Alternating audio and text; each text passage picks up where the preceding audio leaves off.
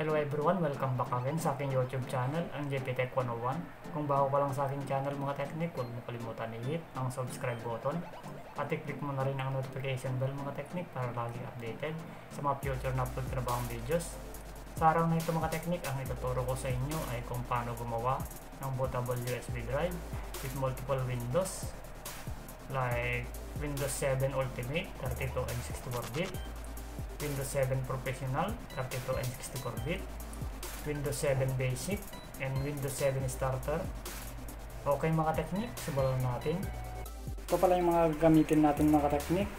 Ito yung external hard drive ko mga teknik. Ito yung storage ko ng mga installer ng mga software at application mga teknik. Ito yung ginagamit ko sa pagpo-format ng mga laptop at desktop mga teknik dito natin kukunin yung nakasave na multiple windows mga technique na gagamitin natin sa paggawa ng bootable USB drive. Tapos ito naman yung gagamitin natin na USB plus drive mga technique ito mga technique then sasalpak na natin sa computer natin tong dalawa mga technique unahin natin tong external mga technique yung external mga technique pag computer yung gagamitin nyo mga technique, dapat sa likod nyo ilalagay mga technique. Na-try ko na sa harapan na ilagay ito mga technique pero hindi niya mabasa. Okay mga technique, ilagay na natin.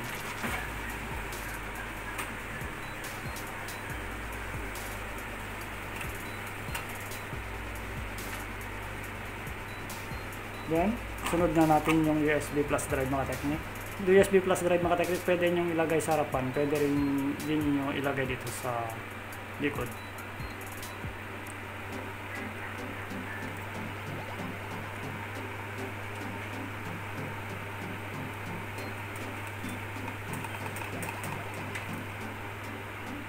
Yan mga teknik na ilagay na natin. Tapos proceed na tayo dito sa harapan ng computer natin mga teknik.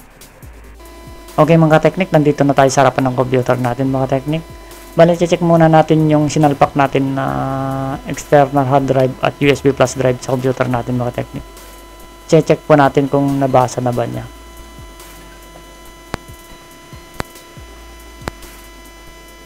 Ito po yung pangalan ng external hard drive ko mga technique. Nabasa niya mga technique. Tapos ito yung USB plus drive mga technique. Then okay siya mga technique. Bago pala natin simulan mga technique ay sinabi ko na ito sa past na videos ko mga technique na every time na meron kayong install na application o software sa laptop or computer niyo mga technique ay kailangan nyo munang i-turn off lahat o i-disable lahat ng naka-install na antivirus sa computer or laptop niyo mga technique.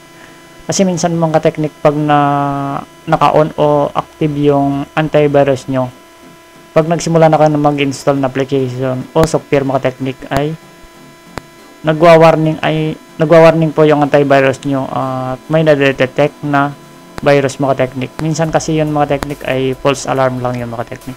Para makasigurada tayo mga technique ay ita-turn off po natin yung mga antivirus natin mga technique. Paano yung gamit kong antivirus mga technique ay yung ABAS. Turn off lang natin mga technique o di-disable lang natin.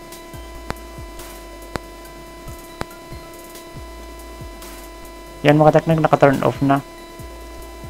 Yung kailangan pala natin mga technique para makagawa ng bootable USB plus drive ay yung Ropos application mga technique. Yung Ropos application mga technique ay nada-download ito sa Google for free. Type nyo lang doon mga technique, search nyo lang doon mga technique na Ropos for Windows for free. Madami kayong papipilian doon mga technique. Any version po pwede basta pang Windows. Then, yung i-download nyo din na Windows file na kailangan natin ipasok sa USB natin mga technique ay yung Windows file na naka ISU file. Okay mga technique, simulan natin. Open lang natin yung Ropos application natin. Highlight natin mga technique. Then, right click. Open lang natin mga technique. Then, yes lang natin ito mga technique. Andito na tayo sa loob ng Robos mga technique. Dito sa my device mga ito po yung pangalan ng USB natin mga technique. Check lang natin mga kung ito ba talaga. Punta lang tayo sa start button mga. Then, piliin natin yung computer. Then, ito po yung pangalan ng USB natin. Removable disk J. Tignan po natin mga kung magkapareha ba sila. Yan po mga technique. Tapos yun magkapareha sila mga technique. Close lang natin ito mga technique. Then, dito sa may partition sim and the target system type mga technique. Default lang ito mga technique. Wala kayong papalitan dito. Then, punta kayo ng file system mga technique. Mapapansin natin ito sa may babang mga technique. Dito sa create a bootable disk using FreeDOS para may pasok po natin yung Windows file na naka ISU file. Ay dito sa file system mga technique dapat yung FAT32 ay papalitan natin ng NTFS try natin mga technique. Then mapapansin natin dito sa may create bootable disk using nagpalit na siya. Maging ISU image na siya mga technique tapos dito sa may cluster size, mga technique, wala tayong papalitan dyan. New volume level, yung mga technique, yan yung size ng USB natin, 32 gig. Dito, to, dito sa may format option mga technique ay yung yung check device forward block. Dapat dito mga technique, one pass lang. Yung quick format mga technique, kung gusto natin i-format, dapat naka-check siya. Create a bootable disk using ISU image check natin mga technique. Create extended label and icon files. Check lang natin mga technique. Then pag dito sa may create a bootable disk using ISU image mga technique click lang natin to sa dito mga technique para may pasok natin yung multiple na windows natin mga technique na naka ISU image left click lang natin mga technique then hanapin natin kung saan yung kung saan na save yung Windows 7 na multiple natin mga technique sa akin mga technique di ba sinabi ko kanina na nakasave siya sa external hard drive mga technique hanapin natin dito sa computer mga technique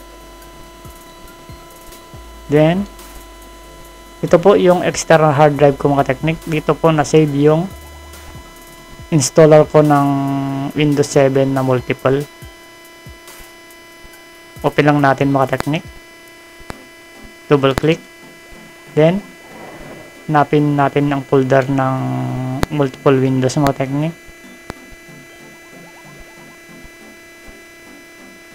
Ito siya mga technique. Then, dito sa Universal OS install, ito po. Then, yung pipiliin nyo mga technique ay yung naka-ISU image or file. Click lang natin mga technique. Left click. Then, piliin natin yung open. Yan mga technique na pasok na natin.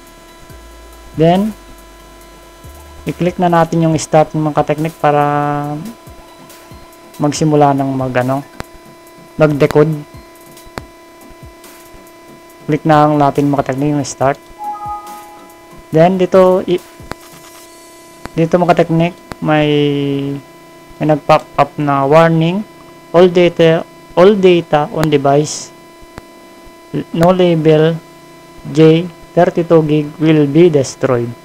To con to continue with this operation, click OK to quick Ibig sabihin ito mga technique ay pag na-okay na ipoformat ipoformat muna yung USB natin bago siya mag-process. Lahat po ng laman ng USB technique ay madidelete. Ipoformat siya. Okay technique po. Piliin natin yung okay. Yan technique mapapansin natin dito sa may dito technique may green siya. Pag napuno ng hanggang dito technique ibig sabihin tapos na yung paggawa natin ng USB, USB plus drive. Bootable USB plus drive. Okay mga hintayin lang po natin matapos. Nakikita din natin dito sa babang teknik, copying ISU files.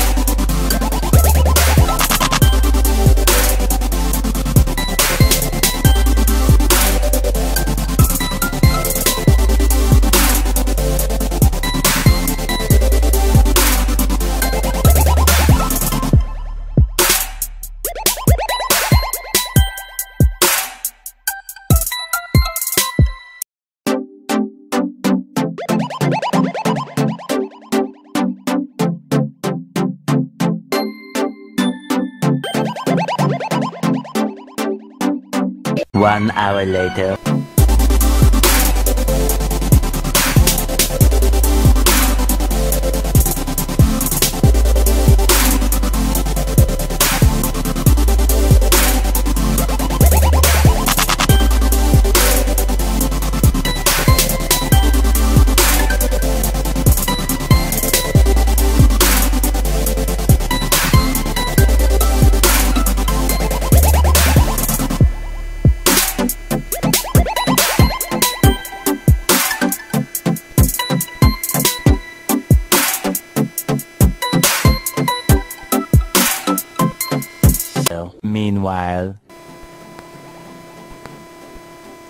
Ayan mga teknik, tapos na. Makikita nyo dito mga teknik yung color green mga teknik puno. Tapos makikita kayo dito sa baba mga teknik na ready. Tapos na yung pagde-decode natin mga teknik. Nakagawa na tayo ng bootable USB plus drive. Close lang natin ito mga teknik. Tapos check natin yung loob ng USB plus drive natin mga teknik.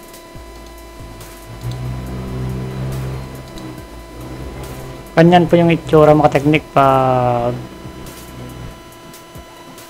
pag successful po yung paggawa ng bootable USB plus drive mga teknik.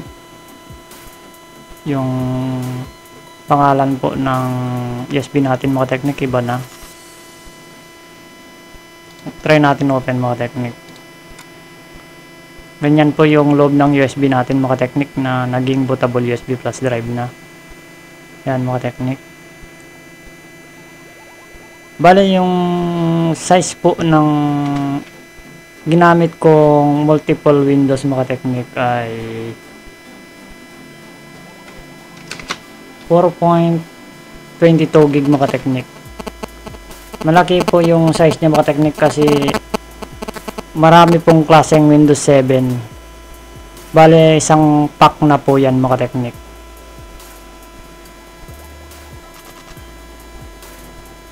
Kaya matagal siyang nag-process mga technique. Kung isa lang na Windows mga technique yung gagawin yung bootable USB.